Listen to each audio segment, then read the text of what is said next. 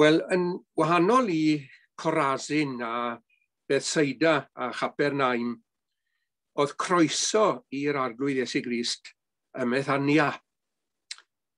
Nawr, meddyliwch chi am gartrefi Risolfen a Chwmnedd, Gastellnedd, faint o groeso fydde i'r gwaredwr ynddyn nhw heno.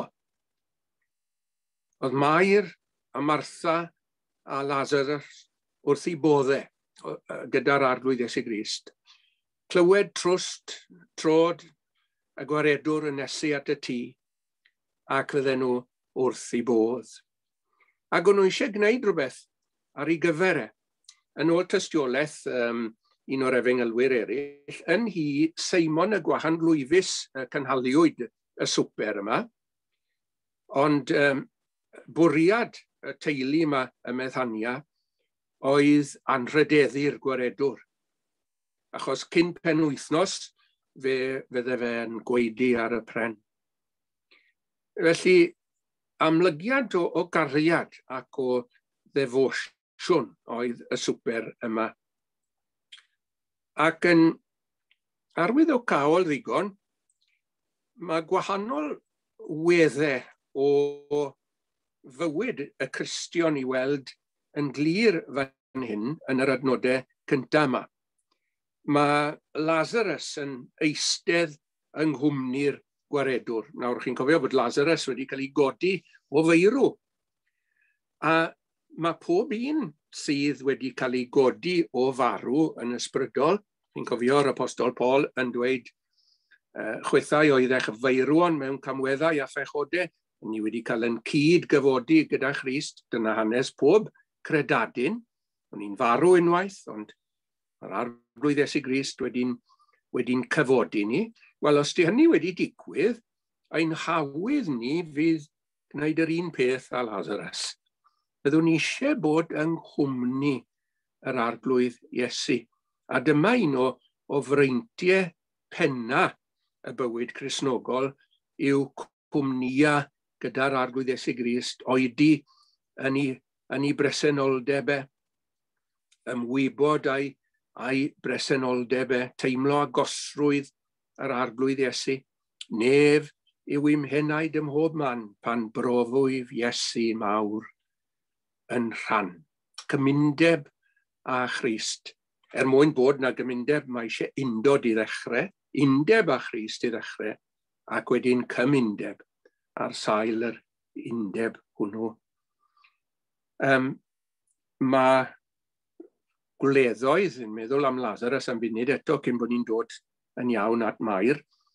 Mae, mae gwleddoedd yn yr ysgrythyr yn, yn fynych yn arwyddo cymdeithas. E, dyna un o ddibenion mawr, wrth gwrs, swper yr arglwydd yw cael cymuno cwmnïau gyda'r arglwydd esu. Neu meddyliwch am am wledd arall, um, Abraham yn cael yr uchel fraint ar wastadedd mamre o gael yr arglwydd Iesu Grist ei hun, cofiwch, yn ei babell. Ac um, maen nhw'n ymddiddan fel cyfeillion tu a tithau, heb fod yn amharchus o gwbl. Yr arglwydd Iesu yn datgelu cyfrinachau a'i fwriadau i, i Abraham. Wel, gwyn yn byd ni, os cawn ni gymdeithas felly gyda'r arglwydd Esu Grist, awr wrth bir gymdeithas felus sydd yn newid gwerth y byd. Wel, dyna chi Lazarus, ac wedyn agwedd arall o'n perthynas ni ar arglwydd Esu Grist yn cael ei, ei gynrychioli gan Martha, oedd hi yn gwasanaethu.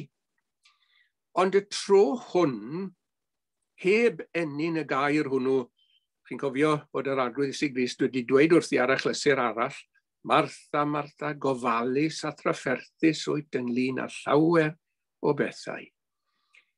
Ond y tro hwn, chi'n gweld, doedd hi ddim yn gwneud ffys ac yn cwyno bod y mair ddim yn helpu, ddim ar yr achlysur yma.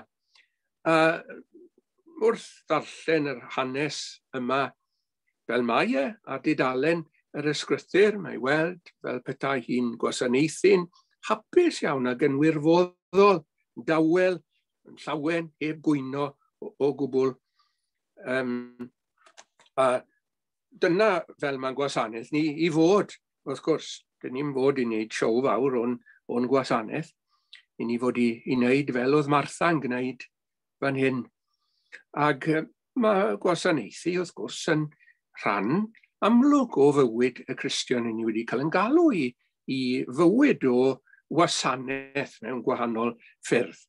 Um, Remir a fi'n siarad bore yma ac yn i yn gwasanaethu wrth gwrs yn yn galwedigaethau trwy fod yn, yn dadau, yn famau, yn wir, yn wragedd, uh, yn yn gwaith bob dydd, ni'n ceisio gwneud y cyfan uh, yng ngwydd Crist ac er mwyn yr arglwydd Iesu Grist ac er, er i ogoniant e, ac yn yr ystyr hynny ni'n gwasanaethu, Ond mae yna feisydd uh, arbennig eraill o wasanaethu uniongyrchol hefyd, wrth gwrs.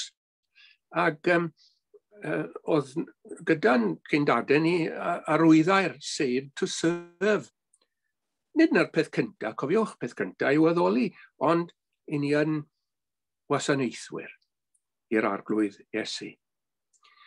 Ac um, wedyn i ni'n dod at yr elfen arall wy eisiau bwyso mwy arni heno. Um, ac ni'n gweld yn mair i bod hi wedi cymryd yr pwys yma o enaint gwerthfawr.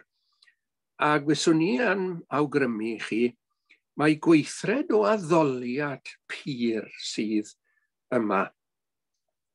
Ac wy eisiau aros am ychydig um, i archwilio'r ymateb yma i'r gwaredwr i hun, sef i eneinio fe.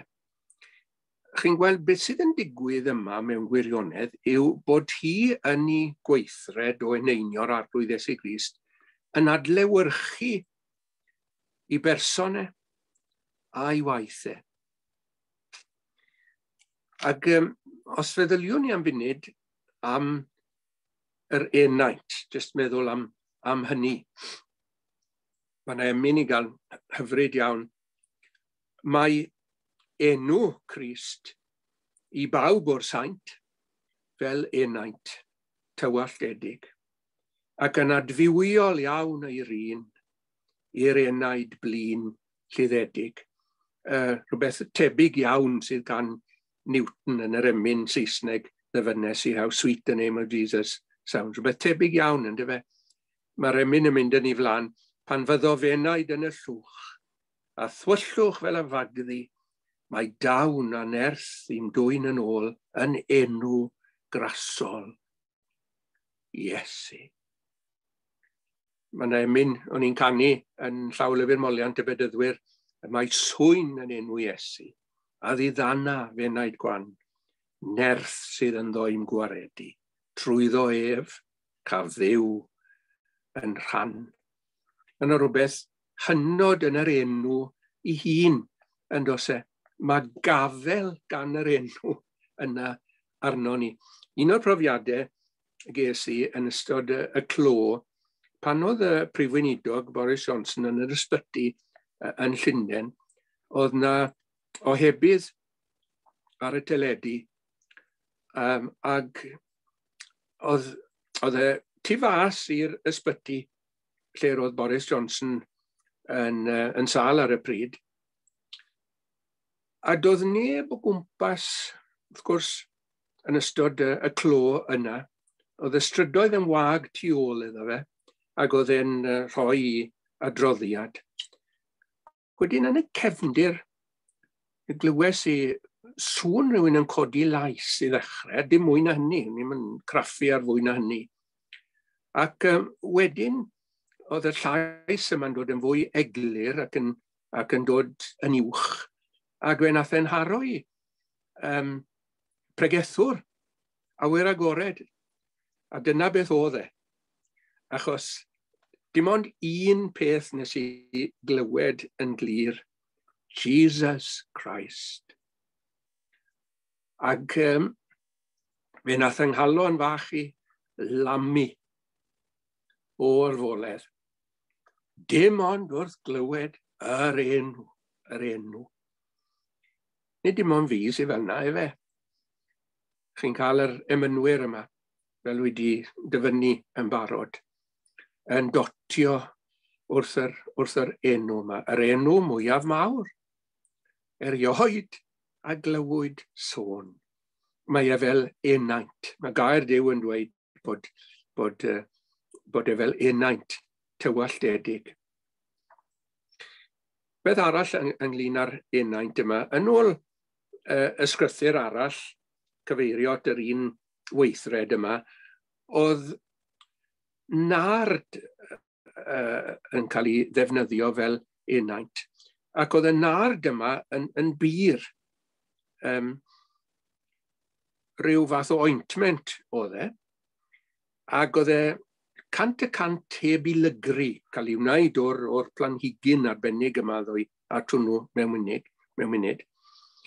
Um, ac um, oedd y nad yn bir yn i'w oedd e ddim wedi cael ei lygru na'i lastwreiddio o gwbl. Ac wyddoch chi, mae ma hwnna hefyd yn nodweddu ein gwaredwr ni i fod e yn bir, hollol bir. A dyma i chi ran o swyn yr arglwydd Esu Grist i ni, yw i fod e yn ddifau, yr oen difau.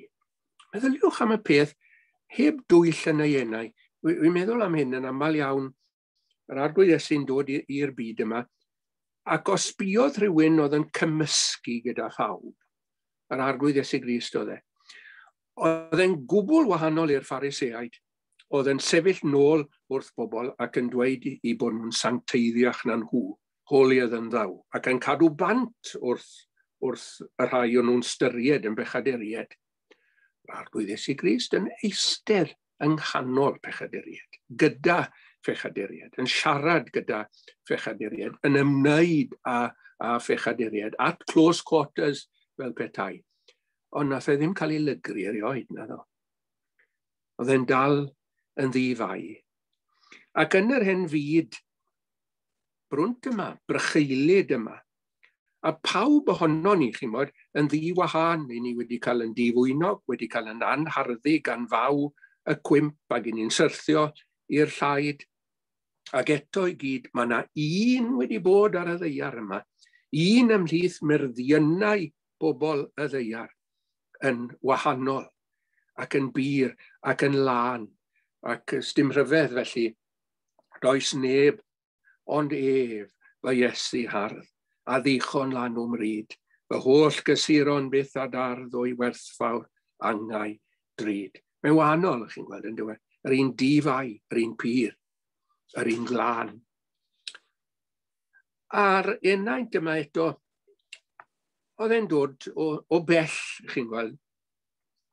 Chi'n gwybod ble mae Israel ar y map, Palestina ar y map, a mae gyda chi syniad go lew uh, yn eich meddwl ble bydde India o'i gymharu ag Israel.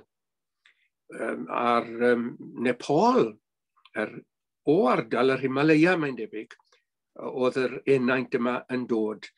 Planhigyn oedd e, yn, yn tyfu uh, ac yn lledu'n isel a'i wreiddiau fe wedyn yn cael ei gwasgu a'r olew pers persawrus hyfryd yma yn dod. Ac um, meddyliwch am y uh, marsiandiwyr yma yn mynd â'i hasynod o, o Palestina, taith, uh, anodd taith, bell, wrth gwrs, dros graig a thyle, yn union swydd i, i gyrchu'r planhigion yma ac uh, yn mynd codi i uchelfannau yr, yr Himalaya ac yn barod i wneud trafeili milltiroedd meithion ac yn, yn dod nôl ac owns neu ddwy falle o'r, or, or nard yma. Wel, fe ddath Iesu Grist o bell hefyd yn dod. Fe ddath e o'r nefol dir. A dyna i chi siwrne, o fyd arall, o hinsawdd, gynnes, mynwes y tad – i landio yn hinsawdd rewllid y byd hwn. A chi'n gofio'r croeso gafodd e, drws y llety yn cael ei gau yn glep yn ei wyneb e. Ond ar weithio'r holl anawsterau, a'r pellter fe ddath yn do.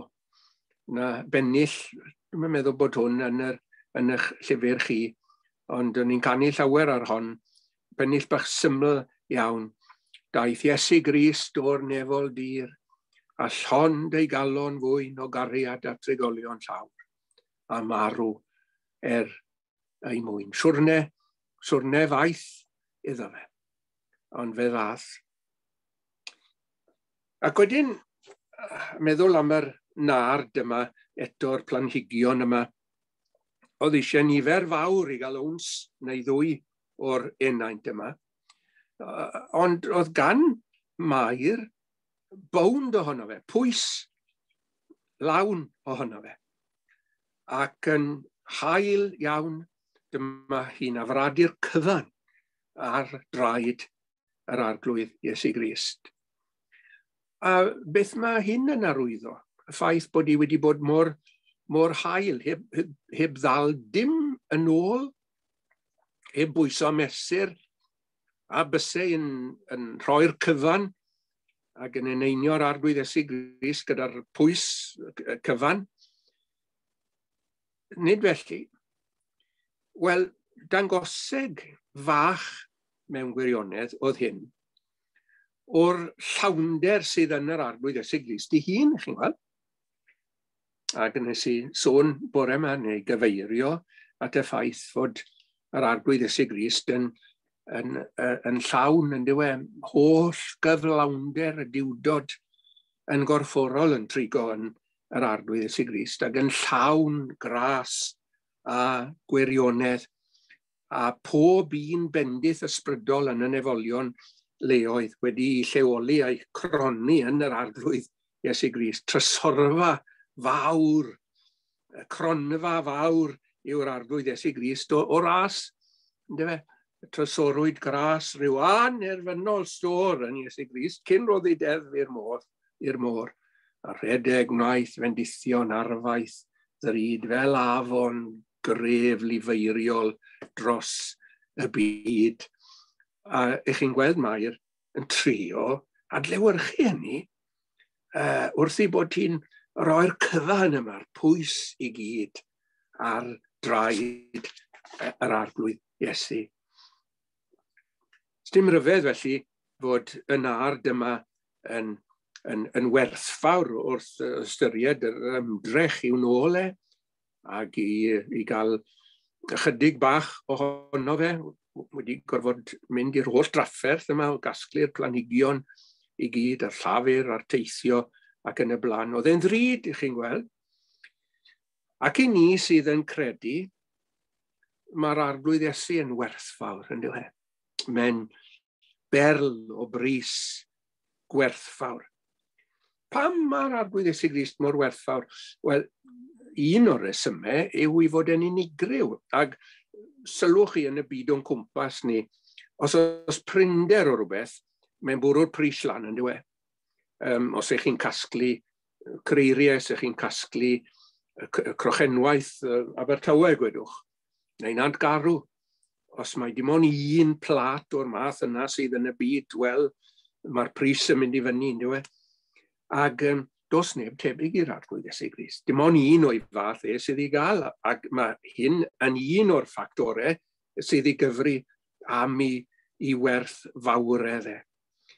A wrth gwrs mae yn werthfawr am ei waith, am ei waith unigryw. Y llafur, yr chwysu yn yr ardd, y dioddau dan yr hoelion a'r llafur diflino rhaid i mi fod ynglyn â'r pethau y berthyn i'm tad, meddai fe. Dyn busnes oedd yr arglwydd Iesu Gris, dyn wrth ei waith oedd, oedd Iesu Gris, trwy i fywyd oedd e'n oedd e'n gwau gwisg cyfiawnder i ni, yn gwinio'r wisg yma, yn, yn ei gwneud ti, bob gweithred, pob meddwl, pob gweddi, pob agwedd ohono fe, yn, uh, mynd i, uh, i wneud gwisg i ni sydd yn noeth ac yn resynus. Ac mae'r cyfan yn werthfawr, yn diwe. Welwch chi, mae traed y gwaredwr yn einiodd Mair ar yr achlysur arbennig hwn. Pam yn einio'i draed e yn, yn arbennig? Wel, oedd y traed yma mynd i fynd ar gwaredwr i'r o'r uwch ystafell ar gyfer y swper ola ac i ardd emane ac i frawdlus Peilat a Phalas Herod ac yna fe welwch chi yn dringo ar traed na yn dringo mynydd bach Calfaria sydd Christmas Evans? Ac am fod y traed yma wedi mynd ar arglwydd Iesu Grist i'r groes, a'r hyn nath e, wrth gwrs, ar groes Calfaria, a mae'r am ddangos i chariad, am ddangos i gwerthfawrogiad i'r traed yma fel petai, oblegid i bod nhw wedi mynd â fe ar ei daith ola i'r groes ac wedi eneinio'i draed e fel hyn te, a'r cyfan weithred yma'n rhyw adlewyrchiad pob elfen yn adlewyrchiad o, berson y gwaith y gwaredwr. Mae'n sychu'r traed yma gyda'i gwallt. Gogoniad gwraig yw ei gwallt, meddai'r meddai gair. Ac mae, mae Mair am ddefnyddio'i gogoniant y peth gorau fel petai sydd yn perthyn iddi i, i, i sychu gwallt, i, i sychu y traed, yr, yr, yr arglwydd Esu Grist. Mae yna rhyw afradlonedd yn hyn i gyd yn dwysau. Mae yna rhyw roi ryfedd fan hyn, heb ddal dim yn ôl. A dyna sydd yn nodweddu i haddoli a ti. Nawr, am, amdana i'n bersonol, dyma un o'n ymuniadau mawr i. Y bydd yr ysbryd lan yn fy ryddhau i i addoli mwy cariadus, mwy twym galon, fel fy mod i'n gallu i, i, i foli fe a'i addoli fe a'i anwylo fe. Yn fwy ac yn fwy, ac yn fwy calon gyfan, os mynwch chi. A phob peth sydd ynddo ni. Mae'r salmydd yn, yn, yn, yn gwneud hyn, uh, hyn yn salm 103. Fe yn wneud bendithia yr arglwydd a'r cwbl sydd yno. Ei enw sanctaidd ef, heb ddal dim yn ôl. Addoliad felly. Mae angen yr ysbryd glân arno ni, i'n ryddhau ni eto yn dosau, i addoliad tebyg i hynny, heb ddal dim yn ôl. Byddai di ni brofi eto waith yr ysbryd glân yn y bywydau ni. Amen.